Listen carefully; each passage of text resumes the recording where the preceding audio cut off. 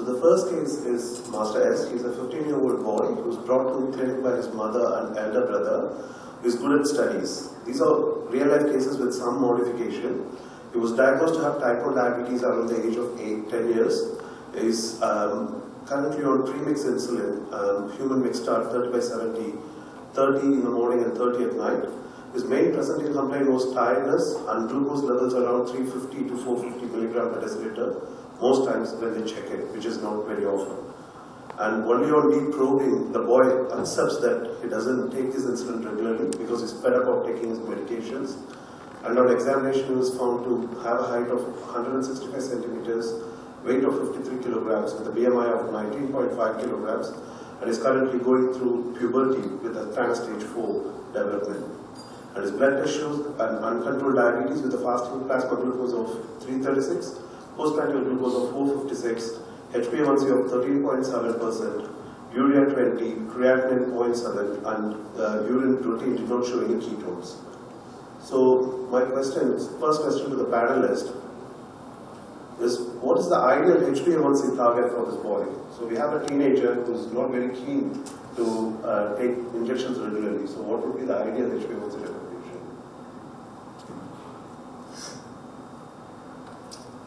Anything less than what got is good. But I, I, think uh, there are quite a lot of issues, but I mean, if you want a specific answer for A1C, somewhere around 7 to 8 is even better.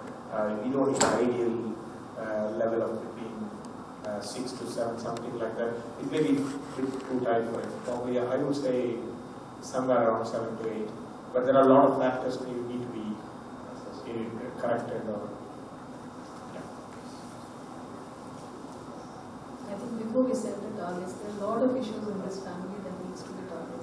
So I think instead of first declaring the targets to the family, we need to sit, sit with them, talk to the parents separately, and probably convince the child. I think here more time needs to be spent to convince the child that he needs to take his medicines properly and insulin is the only therapy available. But I think there has to be a compassionate approach and probably more time spent in educating the parents as well. So the So I HbA1c target is. I think that's not the first thing that needs to be spoken to them. It's far away from them. Ideally now that they say that we don't need to relax it, we have to keep them below seven percent, even in type one diabetes. But I think that should be handled at a later stage in this. The other important thing is to not to panic and try to drop it too quickly. Uh, when you see HbA1c of 30, we really don't want to see HbA1c of 7 or 8 the next month or the following months. That is going to really harm the patient. So we have to uh, be pragmatic. So the general consensus, shall I take it as HbA1c, you should not be targeting first, and there are lots of other issues to be targeted, and usually for adolescent patients, we are not going to go for a tight control as well, and when it's really bad, we don't want to bring it out really quickly as well. So the next question is, is currently on a BD mix insulin, 30030, and his weight is around 52 kilograms. So what, what would be the ideal insulin regime for this patient? Again, uh, for all these questions, we have to start with, we are going to look into the whole home scenario, identify the other issues before we decide on this. But one important thing is when there is a concern of compliance, um, we just need to make sure any minimal regime which is going to make sure the patient is on insulin 24 hours a day. That is more important, at least at basal level. So that should be the first step. So we need to ensure any regime which ensures the patient is at least on a basal insulin all the time. The injections is the, I think in this particular case scenario, he is scared of injections and that's why. No, no, he's fed up, basically. So I think here we have to use a regimen which probably involves the least number of tricks that tricks that will offer a cover for twenty-four hours. So probably a combination of a short acting and intermediate, you know, twice a day. So If that can handle, and if that is acceptable to the child first, and the family from that forward. But is there um, it's currently on human insulin. Um, is it that, do we need to convert it to analog or can he continue on It human? it was well said that we could manage with uh, human insulins itself. And it also is going to add the cost of the therapy. And other than probably achieving lower hypoglycemic rates and uh, better postprandial control, we don't have any other additional benefits. Right. And uh, there are two issues, one a practical solution and an ideal solution. Now ideally compliance with this itself is bad. So I think that may not be possible. So probably if people will be motivated, for so please continue that race daily. And uh, if you can afford, why not that last this? So uh, that because if the people are motivated, it will raise the injection itself, I think will be an achievement in itself. So I think the general consensus is make sure it takes insulin and keep it simple in the should. Excuse me. Volumes are very low. Can't hear you properly. We can't really hear, hear you properly except the gentleman second from my left.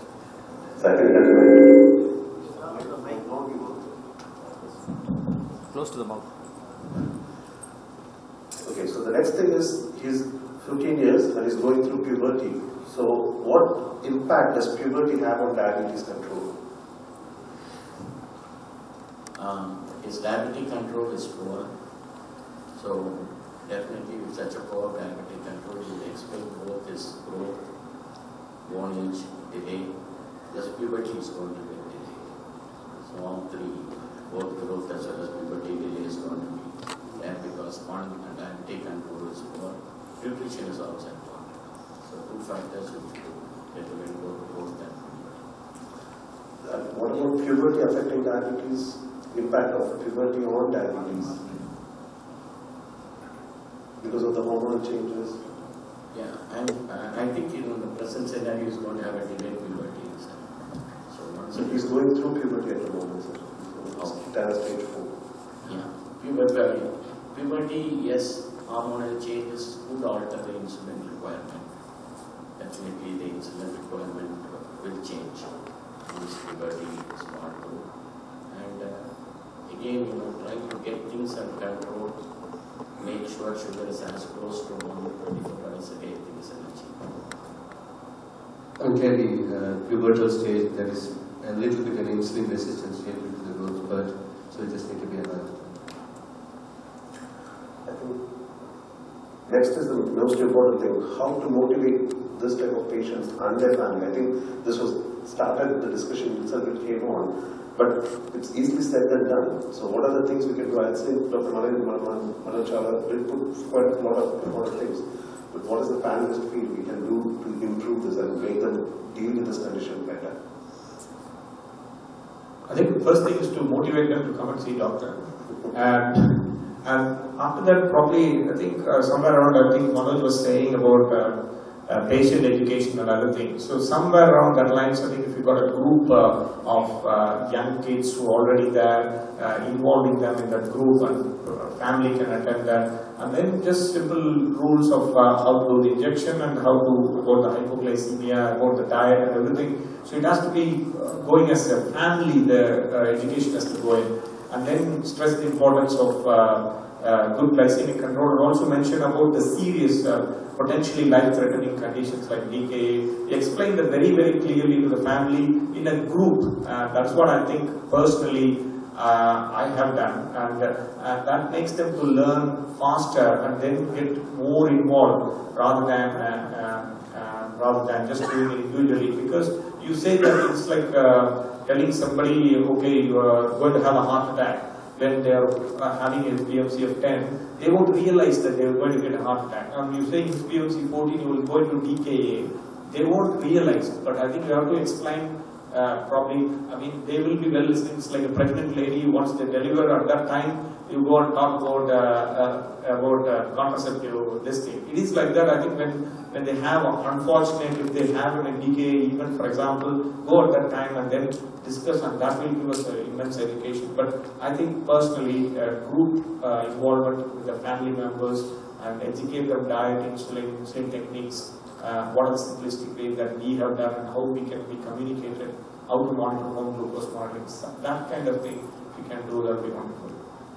Personally, from experience in UK, where we see patients who are there's this transition clinic where they're handed over from the pediatric group to the adult, we see a clear difference where during the pediatric age group, the environment of the clinic is so friendly to the patient. There are enough people around, they feel so comfortable. But when you're coming to the adult clinic, you're made to look like you know you're on your own, and then you're put on. The first thing you ask is what is your blood sugar, what is it? You know, the conversation shouldn't go that way. You should win the patient first. It doesn't have to be a detailed discussion on the very first clinic visit. A casual conversation, talking about social aspects or something so that the patient feels comfortable to see us. If the patient comes back second or third time, then then there's more chance you, you can get a control in the long term. Family who has a member with type 1 diabetes, they often feel isolated. First of all, the parents are not fully educated, and the child himself will be breastfeeding. So I think in a clinical scenario, if we have a group of type 1 diabetic patients and families, it would be good to have, say, monthly meetings where the parents get to meet each other and we educate them probably as a group. We involve the diabetic educator, the nutritionist, the doctor, and we have monthly meetings where the parents also get to learn from other parents how they manage their children. I think that would make the scenario much more, uh, you know, So Zoom discussion with Yes. patients and the parents. Yes, so effort has to be put in the clinic, but effort also has to be put on a general scale, where the, family as such have somebody to relate to, probably they can have contact numbers of other patients also. I think that self-help group should be established in our country, and probably in every clinic to start with, and probably in every state. Definitely, I think that will be quite useful for most of the patients and the parents. What is it? I totally agree with my colleagues and uh, we also heard a very nice talk. So I think a group therapy uh, where you know children at school levels, children with children problems, the kids uh, in the group which uh, the child was talking to, probably that would help in a big way in addition to, because first the support at home. So Dr. Manoj Chawla touched upon this. So he suggested that we need to be screening microvascular complications regularly. But my question would be, what, when would you start screening the patients? So someone who's developed diabetes for, like this chap, he had diabetes for the last five years now. So it was diagnosed when he was age 10 and he's 15. So do we need to wait till he, say, becomes 20, 25, or what would be the ideal time to start screening? Uh, he's had diabetes for five years. I think minimal uh, getting his urine microalbuminuria and fundus examination immediately, I think is a must. And probably followed every year. So I think it's ideal to start now and then continue. And when to start screening for macrovascular complications like blood pressure management and lipid management. Uh, unless there is an associated condition that you're thinking, uh, I would uh, go into, I mean, blood pressure, you do it routinely in the clinic, uh, for a 15 year old, probably you would do it. But uh, unless there is something, uh, then I would go into looking at heart and other things. Um, the two things uh, would be essential. One is blood pressure monitoring every six months. Uh, number two is lipids. Isn't that puberty to be at the right time? But you should have a good diabetic control with blood sugars and normalcy before you look at lipids. Thank you. So the last question for the first case is, would you consider insulin pump for this patient provided he stays motivated? Uh, clearly, you, you given the answer to the question. if the patient is motivated, definitely all type 1 diabetes uh, should be considered. I'm not saying should have, but they should be considered whether they would benefit from an insulin pump. But clearly, we've got a long way to go in this patient, and insulin pump is not an easy fix. It requires enough knowledge, enough motivation, and uh, good understanding. So, any child, when we are comfortable with that, definitely they should be considered at least. It's not only patient motivation, it's your daddy's motivation to spend from pocket. But sometimes they do come and demand pumps, saying that put it on, we will solve all You're a lucky doctor. Can I work with you? No, just seriously, I'm asking. So if someone comes to comes to us and says, I'm, I'm fed up with the disease, I want to put a pump on and If, if if they can afford, that's the best thing you and me know. It's the it is the insulin delivering system, and uh, it, that if they got a patient is keen to get learning. Uh, I'm not sure if this patient who can't even give twice daily insulin will be motivated for a pump. But I'm saying, I think if they're really motivated, they can afford. Why not? One other aspect is some kids are very knowledgeable in the sense that uh, they know that if you have an insulin pump, there's a very small chance of going for a DKA. So they just keep that as a baseline so that they don't take it further. They say, okay, I've got an insulin going all the time. I'm not going to get DKA. I'm not going to bother further about controlling the glucose. So if that's the case, again, that's it might avoid the DKAs, but it's not going to make further progress in controlling the blood glucose. But Thank you. So go to the second case.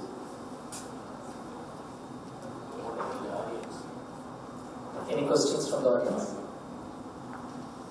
On the first case, the audience will be opinion.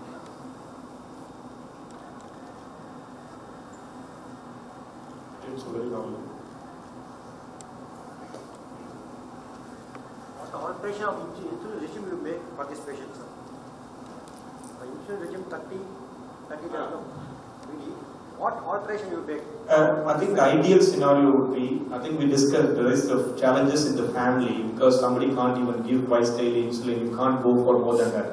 Uh, that's what Dr. Moti was saying. Uh, the ideal scenario and what is practically is different for this patient. Ideally, basal bolus.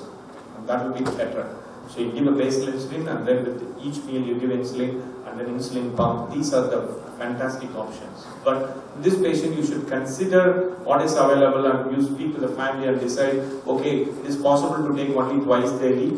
If three injections is possible on twice daily basis, you know what I'm saying. So uh, you give a basal insulin and a rapid acting in the morning, he goes to school, lunchtime, not taking anything, and then comes back and take the rapid acting in the evening. So that is one way to do. Uh, or if we say no, no for three injection, two injections, then go for mix the same insulin, uh, but adjust with the adjusting, or you can go for analogs. So We move on to the second case. Uh, this 17-year-old female with uh, presents with two weeks uh, of osmotic symptoms, polyuria, polydipsia, and uh, 6 kgs of weight loss in the last two months. There is no family history of diabetes, and her BMI is 28.1, which is on the higher side. And uh, blood tests reveal her fasting plasma glucose is 150 milligrams and postprandial is 300 milligrams per dl with HbA1c of 8.9%. Other biochemical and renal evaluation tests are normal. These are the tests that patients uh, at the time of consultation with you. So the first question is, uh, before ordering for the test, clinically what are the diagnostic possibilities you will consider in this patient? Here is a young lady has with uh, rapid onset, recent symptoms and uh, with no family history. So I think uh, we, uh, we have to go into the history probably a little more in detail. Uh, that is, prior to this weight loss, had she gained weight? And was she overweight in her childhood? And what is her periods pattern? When did she attain her menarche? Are her cycles regular? Is she a PCOS phenotype? So uh, I think what we what is uh, clinically uh, seen as she's an obese lady who has lost six kilos. But what was the pattern of weight through childhood? Has there been a recent weight gain followed by an acute weight loss with the onset of osmotic symptoms? Probably that will give us a clue. Then we go on to a physical examination where probably we would look for signs of insulin resistance in this patient. So uh, that is one. Was there any preceding fever or uh, any other associated uh, like any recent infection that has precipitated the episode? And these are the things that I would uh, ask for in the history. This uh, female had entered puberty at the age of 14 and her menses are regular and there has been no, she has been overweight since childhood and no recent sudden weight gain preceding the onset of diabetes and uh, there has been no infection prior to this diagnosis. So these are the basic test ordered after the first consultation. Her ketones was negative. There was no acetosis in this patient. Her GAD antibody was negative. and the fasting C peptide level after the diabetic control was 4.9 nanograms per dl. So, what are the possibilities? Uh, what we show is that there is a, uh, the C peptide level shows that there is a very good beta cell reserve in this patient. Uh, the pancreatic autoantibody, at least the panel is negative, the urine ketone negative. So I think I would definitely entertain a diagnosis of type 2 diabetes in this patient as a first possibility. But probably we should keep a watch on this lady because there is a subset of uh, uh, insulin requiring late onset autoimmune diabetes who could be GAD antibody negative. We have not looked at the other panel of insulin autoantibodies. So we need to keep this patient under follow-up. Certainly, order how many antibodies you will check routinely in a young patient who is considered to have type, type 1 diabetes? Two or three antibodies or the five antibodies? Of the panelist. Uh, my personal experience, I, uh, I don't have a fixed number of antibodies to check. The more number of antibodies gives a better uh, yield, but uh, a setup, uh, it all depends whether the patient is affordable.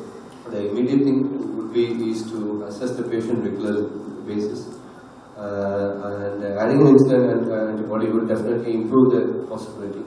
But again, practically, I don't think it makes any difference immediately. So, it's more, uh, the immediate thing is how we are going to manage the patient and uh, make sure uh, clearly the patient is insulin obedient, so that needs to be addressed. And then uh, subsequent visits, we can think about checking their antibodies also. Practically, if you do only C peptide and GAD antibodies, just, uh, I mean, even that, I think, as you were saying, that you have to consider start treating the patient first. And um, you can do C peptide and GAD, which you have done. I'm not sure whether just going into details, the time being, maybe the right way to do it, just try to manage the patient first. We have details of lipid profile and other markers, like say an SGPT, uric acid, which would point towards uh, insulin resistance. Uh, lipid profile, the triglyceride was mildly elevated. I don't have the exact results. Other things were normal. And, uh, other parameters were normal. Mild hypertriglyceridemia. Very true about the antibodies, cost factor, patient complaints, even getting the care, at times it's difficult, it's expensive. So the more better, if you can get a itself, I think we are lucky most times. I think the second question was uh, discussed in this discussion. So uh, antibodies are discussed. So what is the usefulness of C peptide in the diagnosis, differential diagnosis, and uh, what cutoffs do you follow to differentiate between the type 1 and type 2? Will you do only fasting or fasting and after food? Um, I think C peptide is checked in both fasting and fed states. But I think one thing to note is that we should not look for C peptide in a person who come with very, very poor glycemic control. Because of this phase of glucotoxicity where there could be an inherent suppression of insulin secretion. So I think we should not rush to that. If the patient has come with very high blood sugars, probably we should not check C peptide at that time. So those are the things which could actually cause a variation in the C peptide level. Otherwise, probably it's a fair enough guide to tell us what is the beta cell reserve at that point. what values do you take as uh, beta cell failure? this particular value is pretty high, and any value below, say, 1 or even like less than 0.5 uh, in a fed state be indicating that. Uh, I personally don't put much stress on C peptide on the initial stages. This patient could be very well at type 1 in his honeymoon stage, and they could have some residual C peptide, and clearly that depends on what's, whether the patient is glucotoxic, which can possibly suppress the levels. So I, I personally really don't stress much on C peptide at the early stages. So C peptide can be useful, but don't uh, rely too much on C peptide and check C peptide after good glycemic control. This is an important take home message. So, what would be initial treatment in this patient? Given this uh, clinical findings and lab results, we start uh, insulin? Start insulin with the kind of sugars she has come with fasting above uh, 300 and post meal above 400. We should start her with a low diet regimen and insulin therapy initially. And as the sugars come under control and uh, probably in 4 to 6 weeks time, that would also help the glucotoxic phase. And then probably we could consider metformin later. Very, very important we say treatment is to get the family fully understand the diagnosis, the implications, and they are definitely going to, most likely to be in a bit of a shock. So to make sure that they understand, uh, you know, there is enough support available. So treating the whole family is equally important to make sure uh, they will be compliant with insulin, they understand the importance of insulin. So, subsequent to good control, you stop insulin and uh, keep her on metformin, or uh, you have to continue insulin? Um, I think, um, as Madam was saying, you, you want to start on insulin first and get the control right and add a metformin. And you see, with 500 of metformin, you see the A1C is controlling very well and everything. You just try to withdraw. I, I, I suspect probably you want to do a BD insulin or basal and something like that you want to start. So you want to just probably reduce the dose slightly um, and then uh, increase the metformin dose and you are happy with 1 gram of metformin long acting, the whole thing is under control. Then why can't you stop insulin with the C peptide and everything and see how it goes. Uh, but it has to be, as Madam saying, that even if you are uh, uh, starting on oral tablets, you have to just be very alert and thinking that it could be a type 1. No? Yeah, but uh, good uh, C peptide uh, reserve, he has stopped insulin after good control, glucose toxicity is gone. And uh, starting on metformin and depending on the requirement, you can add on a second drug also. So I think uh, once the control comes with insulin and good C-peptide, so insulin will be stopped and managed with oral drugs, metformin plus other combination. Of course, lifestyle alterations, diet, weight, all that has to be managed. This patient was started on insulin and subsequent to control, she is doing fine with metformin alone along with lifestyle combination. So we'll move on to the next case.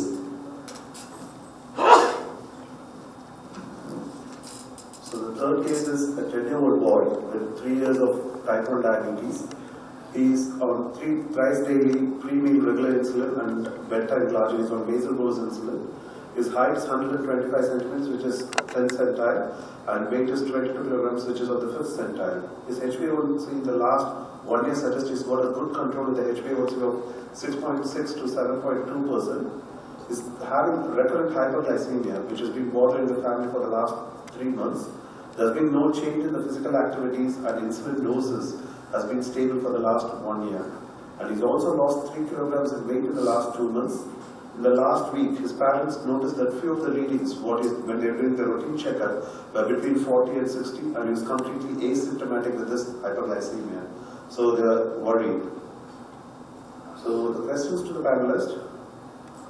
What are the possible reasons why this boy who's got a good controlled, well-motivated patient is having recurrent hyperglycemia in the last few months and is also having very low readings recently? So what would be the possibilities? Type 1 diabetes is an autoimmune disease, so I think when we have one autoimmune disease, we should always keep the other type autoimmune diseases in mind. So if a well-controlled patient starts getting hypoglycemia on the same statement dose, probably we should uh, try to think of underlying autoimmune insufficiency as a possibility. Does he have any markers of autoimmune hypoglycemia or uh, what is his thyroid profile like? And, uh, these are things we should look for. Does he have any celiac disease or even malabsorptive state? Has that has he been worked up for that? So these are the things. I think adrenal insufficiency is something which. Uh, So, uh, so that's what we wanted to discuss about. So, so these are the things which can affect the hyperglycemia, autoimmune diseases, which is so common. So I think when someone presents like this, so we start thinking about it. So first thing to do would be to make sure that they don't have Addison's disease. So this patient did not have any features of Addisonian crisis or um, uh, other markers, but um, he had some diarrhea. So we're worried whether he would have malabsorption. So this patient, when would you start, for ideally for any patient with type 1 diabetes, is there a time when you would recommend checking for celiac disease? There is no timing for it. If you diagnose a child to have type 1 diabetes, I think all children with type 1 diabetes should be screened for underlying celiac disease. They need not be symptomatic initially. I mean, the diarrhea comes much later. So uh, we should do because we have a blood test available, the tissue transglutaminase antibody, which we could do uh, as a routine. See, I think uh, the autoimmune disease should be in the back of your mind all the time. And when they have any changes in insulin requirement, going up or going down, um, uh, after ruling out all the insulin techniques and analog introduction and uh, proper uh, meal and carbohydrate, uh, whatever dose adjustment for normal eating, whatever you want to do, you're doing everything. And in spite of that, there is the possibility of severe red glycemic excursion. Then it should alert you, okay, I, this is the time I'm going to screen. Um, and then again, as puberty comes in, or something that is vague happening, you should just keep it in mind and check for all these conditions. I uh, do a celiac screening because the patient has got diarrhea and hypoglycemia is happening, and that can, once the cortisol insufficiency is being ruled out, you can just do an IgA gliadin antibody and just check for that. And I would also do a, a pernicious anemia screening by doing parietal cell antibody. Probably a serum B12 estimation also. Yes, yes. I totally agree with my other So what could be possible explanation for lack of symptoms of hypoglycemia? So he's got hypoglycemia unawareness now. So what would be the potential reasons? Um, sometimes uh, it's a bit unfortunate that uh, some good patients who do all the hard work have to pay the price of having a good glycemic control, and this is likely to have developed over a period of time where initially it would have start- started with uh, having episodes of uh, borderline hypoglycemia and gradually this patient drifting into uh, hypoglycemia unawareness. It's likely have have over a period of time and it's because of the usual timing of monitoring and uh, are times when there are higher, higher risk of hypoglycemia when these patients are going to have a very borderline hypoglycemia when they are deep asleep, they might not recognize this and this could gradually further develop into the unawareness. This is usually the commonest cause. Mentioned the HbA1c was 6.2%. So this child was a under very tight glycemic control. Must have been having recurrent episodes of mild hypoglycemia unidentified. That would have led to unawareness over a period. How to correct this? Is there a way so that they can come out of that? hypoglycemia, relax on the regimen. Probably we need to look at the CGMs in this child and modify it, or probably relax on this. So by relaxing it, they will start getting the symptoms after some time so that they can recognize it and act upon it. Uh, different approaches. One approach could be if, if we could uh, afford do a, a continuous glucose monitoring on the current whatever regime patient is following. We should make sure tell them that just to follow what they are doing when they are doing the CGMS because sometimes when we when we tell them that they are doing continuous glucose monitoring that might uh, change how they put the insulin and that can give a false picture. So that's important thing is to identify what are the dips and really look into the insulin options and clearly these patients there is a good compelling reason to uh, change to analog especially those newer insulins which have a you know peakless insulins. I totally agree, CGMS will help, because though we are thinking of a polyclinical syndrome. Um, so with the CGMS, probably an effective diabetic control without going into hypoglycemia would help in recovery of the autonomic dysfunction. So if keep uh, this hypoglycemic episodes are of recent onset, then within a few days recovery will be there. If not, if it's chronic means if food control is there, no further episodes of hypoglycemia, by about three months he should recover from autonomic dysfunction and hypoglycemic unawareness. Thank you. So we discussed about this, so we just said that we need to, uh, as uh, Dr. Anjali Madam said, we need to look for celiac disease, thyroid dysfunction, or Addison's disease and other malabsorptive disorders. So we do an initial screen for celiac screen, as said, we'll do an IgA level and also uh, transglutaminase antibody levels. Like, uh, so uh, if that's negative, when would you recommend rechecking it again? You need to recheck?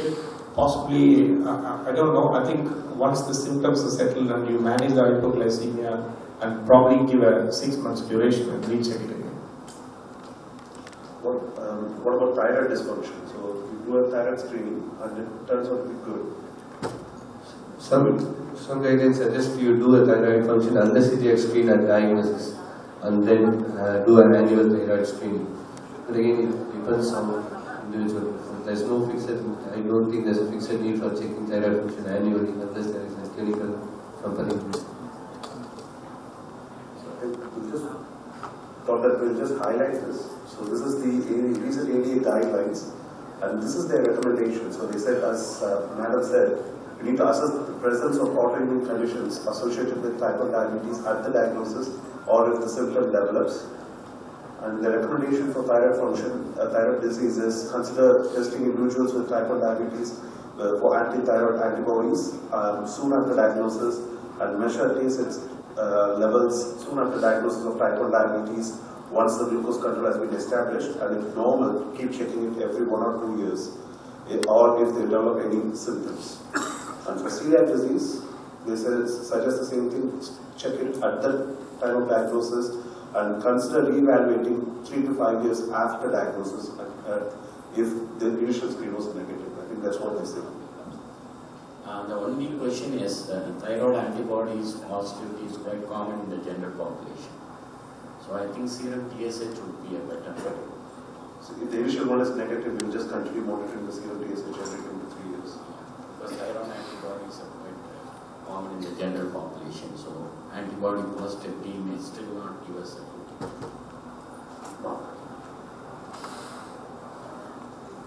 So I think we have time for another case. Yeah, you have uh, five more minutes left. You can discuss another case, then we'll take quick questions.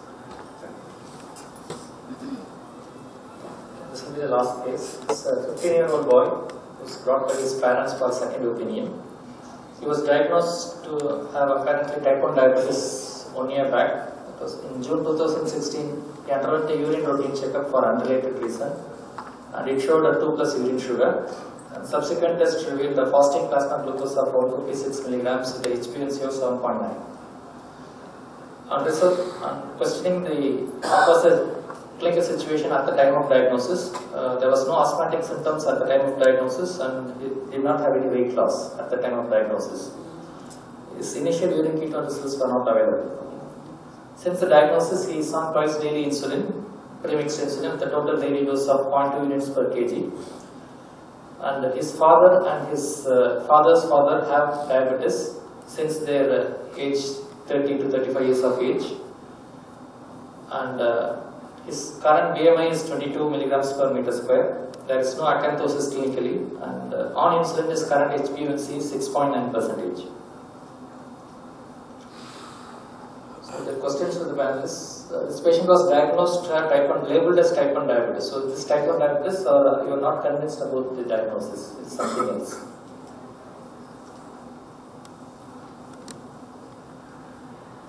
The antibodies are negative, probably it will go towards MODY. If the antibodies are positive, then type 1 is a positive. Childhood, type 1 diabetes remains the commonest uh, uh, diagnosis for diabetes presenting at this age. So I wouldn't find fault with the first diagnosis. But probably a family history would have reached the diagnosis. He has not come with very high blood sugars. Three generations have been affected. He's a leaner boy, has no ketonuria, has a MODY mass index of, uh, know, he's below the age of 25 years. So we fits in with the diagnosis of MODY. It's less common, but it is still there. So I think we need to think about maturity onset of diabetes in the young, considering a strong family history and a milder degree of uh, displacement that he has come. But I think the initial therapy we cannot find fault. with. Any child would have come, being on insulin, there is nothing wrong because type 1 diabetes remains the most common cause. But here we should need to work up for body and probably we can take him off insulin in that case and keep him on a good lifestyle and probably watch him. So he needs a genetic work. So when will you suspect MODY in a young child presenting with uh, diabetes or hyperglycemia? Apart from the strong family history, any other clinical points which would point towards MODY? Antibodies we think. Glycosyl. So type 1 diabetes, how will you differentiate MODY from type 2 diabetes? Because type 2 diabetes also will have a strong family history. So how will you differentiate MODY from type 2 diabetes? Uh, children with MODY are thinner, they have a lesser body mass index compared to children with type 2 diabetes. The second thing is markers of insulin resistance. Uh, that may not be very, uh, you know, overtly seen in MODY. It's usually seen in obese children with type 2 diabetes. Because you won't see acanthosis nigricans, skin tags in children with. Usually, many of the situations, the, the initial diagnosis is not an issue, and you should always not be confirming in these situations the diagnosis on their own. You could label them on whatever initially, but the important thing is following them up and then subsequently revisiting the diagnosis and trying to pin on the correct diagnosis is important, both in the short term and in the long term. So, uh, clearly, uh, if not in the first should always, that's the reason for reviewing this patient initially regularly so that we revise the whole. So this patient's uh, GAD antibody was negative uh, at this evaluation. So will you stop the insulin and try oral medications? Uh, What will be the management at this point of time, given this antibodies are negative?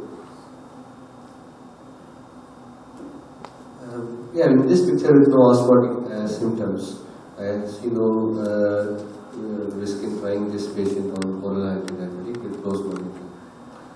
And clearly in this age group where Obviously, it depends on we going to do genetic testing for MODY, which we should be doing, and the outcome depends on what it shows, whether it's uh, type 2 or type 1. So type 1 diabetes is the most common diagnosis, but given the clinical situation, consider other possibilities like type 2 or MODY. So, sir, I have to get a diagnosis. If you're suspecting MODY, for example, uh, a genetic screening which is done extensively now, um, so I will go for it, get the diagnosis, and then uh, decide the management. Any one or two questions from Yeah, the please take questions from the audience. newly detected type 1 diabetes, how to plan the insulin dosing, how to plan his diet. Two third in the morning, one third in the night. Insulin dose for newly detected type 1 diabetes. First question 17, can fix the diet quantities the morning evening.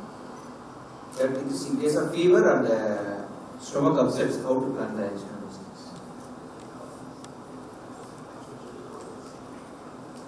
Is it for type 1? Yes. Uh, my personal approach would be for type 1 is to really go to the patient's individual uh, diet pattern and I, I usually try not to advise any diet straight away. The main issue is in a type 1 and the first approach is you, you design any regime where the patient is having uh, insulin in the system 24 hours a day. Uh, so that, that definitely a basal has to be the first one. And there is different approaches. We try a twice daily mix initially until the patient gets used to it. And the other thing is just to first give a knowledge of uh, kids about carbohydrate counting.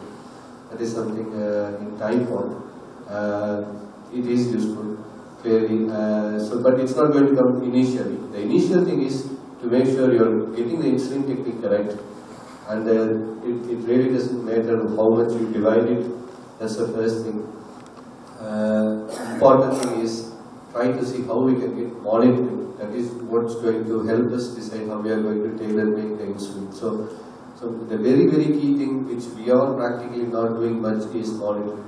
Monitoring is the one which is going to tell us. Nobody knows what how much insulin this patient is going to need.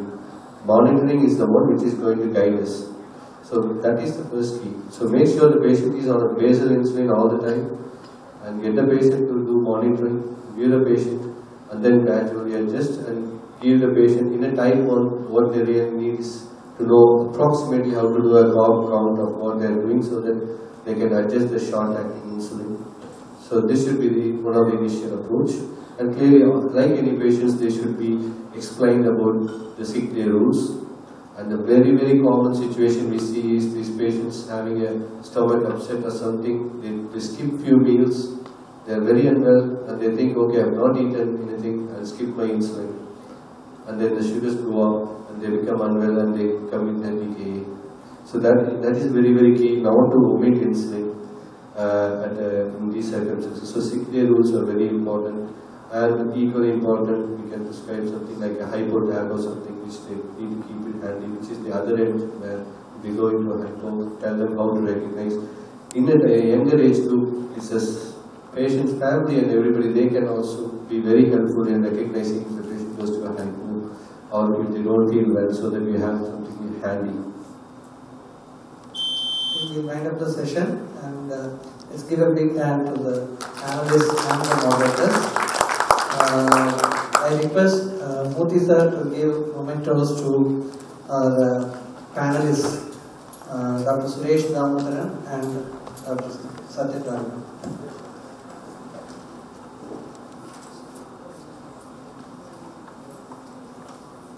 And I request uh, Dr. Velayam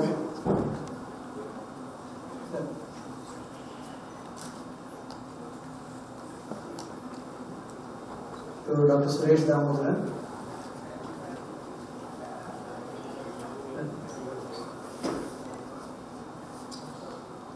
I request Dr. Velayam to uh, honor our panel, our moderators, Dr. Manigandan and Dr. Sivan, with uh, mementos.